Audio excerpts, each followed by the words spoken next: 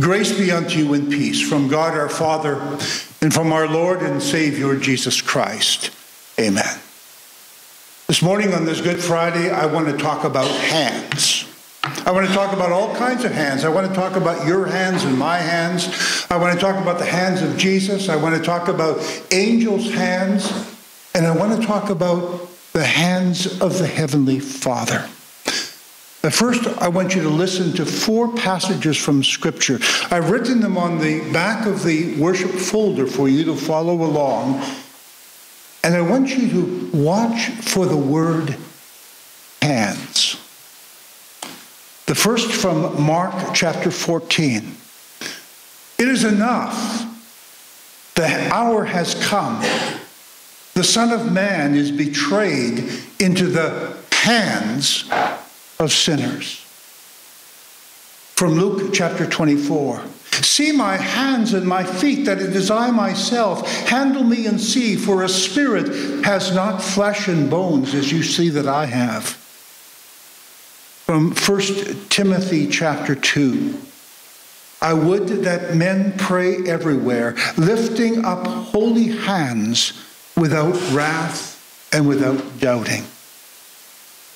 And then from Luke 23, the last words spoken by Jesus from the cross. Then Jesus, crying with a loud voice, said, Father, into your hands I commit my spirit. I want you to take a close look at your hands. Hold them out there and take a close look, both sides. Are they large or are they small? Are they calloused or are they soft? Are they gnarled or are they smooth? You know, your hands say an awful lot about you. They're unique. Like the individuality of your, uh, of your fingerprints, there are no hands in this world that are exactly like yours. Your hands are a phenomenal creation of God. There are four things that I want you to remember this morning about hands. The first is this God has the whole world in his hands, including your personal life, as well as the awful agony that our Savior endured on that first Good Friday. The second, the hands of Jesus are real. They're real flesh and bone, and, and they really were pierced for the sins of the world. The third, your hands are capable of doing good or evil depending upon where your heart is. And the final point, point four, you're in good hands when your life is in the hands of the Heavenly Father.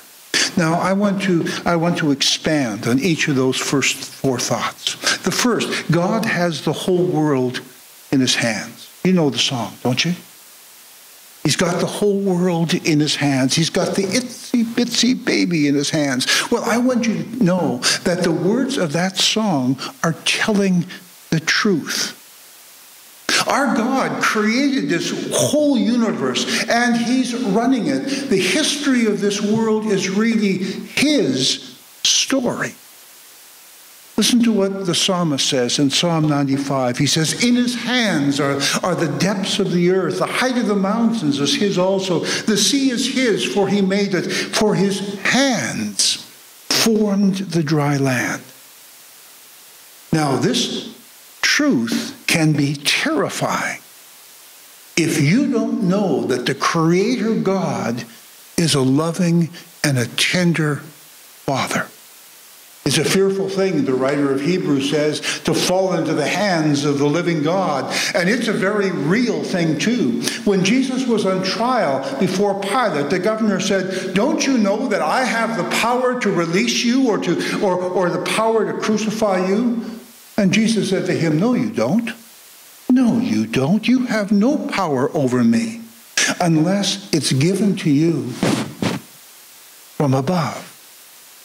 Only God has the power.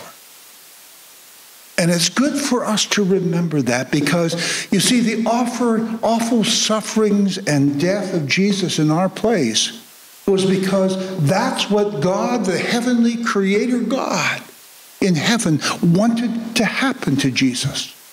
He willed it to happen to Jesus. God did not spare his own son, but gave him up for us all. Isaiah said, and we read those words before, it was the will of the Lord to bruise him, and, and the Lord has laid on him the iniquity of us all.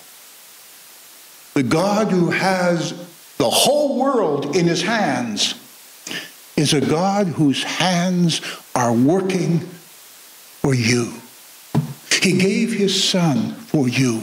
He willed him to die for you. Point number four, two. The hands of Jesus are real. I want you to imagine the, the hands of Jesus on that cross. They're real. They're real flesh and blood and bone. The blood is streaming from those hands, and nails were really placed through those hands, nailing him to the cross. Now, I want you to look at your hands. Do you have them pierced? We may have our ears pierced, but I don't think anyone has their hands pierced. But Jesus did. Jesus' hands were pierced.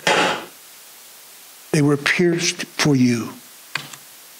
That's important to remember.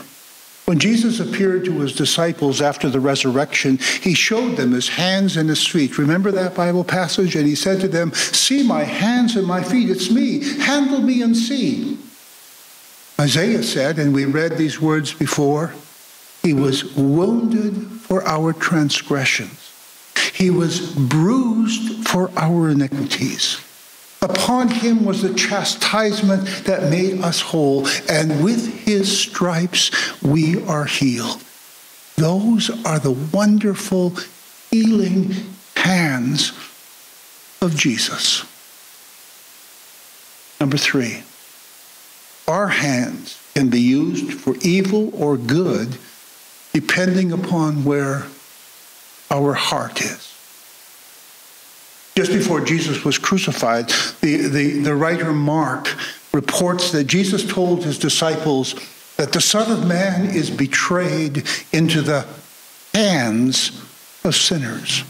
And then shortly after, Jesus, uh, uh, Mark states, and they laid hands on him and seized him. Who seized him? I want you to know that those who seized him the hands that seized him were the hands of religious people. Are we any better?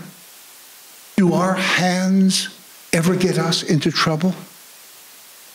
When our Lord was stretched his hands out on the cross, he was carrying all the sins that we do with our hands. Cleanse your hands, you sinners, James says. Purify your hearts, he utters. And the Lord laid on him the iniquity of us all. Now our Lord asks us to use our hands in godly ways.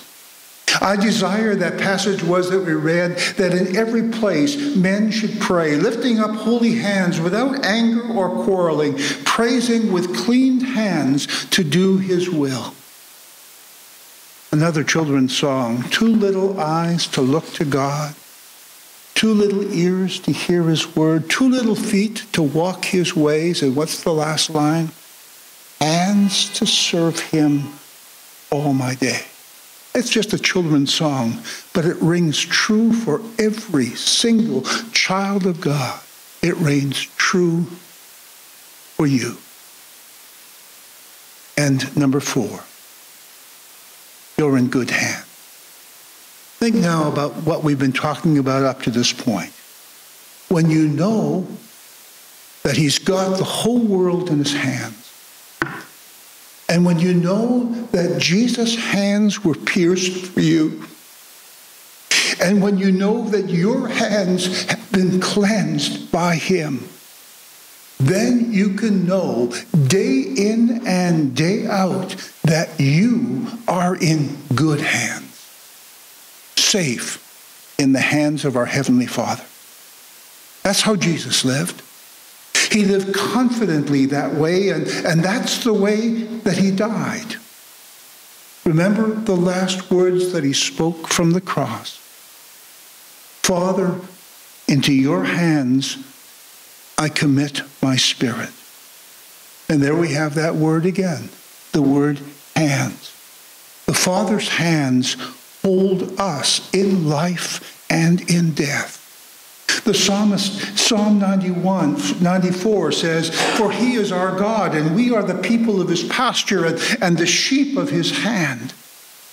In Psalm 19, our Lord promises, and he will give his angels charge over you to guard you in all your ways. On his hands, on their hands, they will bear you up. He even has his angels conscripted care for you. But Jesus' words are probably the climax. My sheep hear my voice and they follow me. And I give them eternal life. And here it comes. And no one will snatch them out of my hand. My friend, you're in good hands. And you can pray. You can pray it every morning and you can pray it every night. You can pray it when you're well and you can pray it when you're sick. You can pray these same words that Jesus spoke before he died. Father, into your hands I commit my spirit. A blessed Good Friday to you. And now may the peace of God that passes all our understanding Keep your hearts and minds centered in Christ Jesus. Amen.